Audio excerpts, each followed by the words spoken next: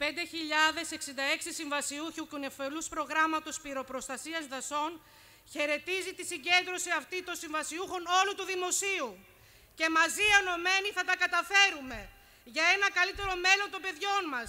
Ζητάμε παράταση και μονιμοποίηση για να σταματήσουν επιτέλους οι πυρκαγιές των δασών μας. Τα θύματα στο μάτι να είναι τα τελευταία. Ευχαριστώ πολύ.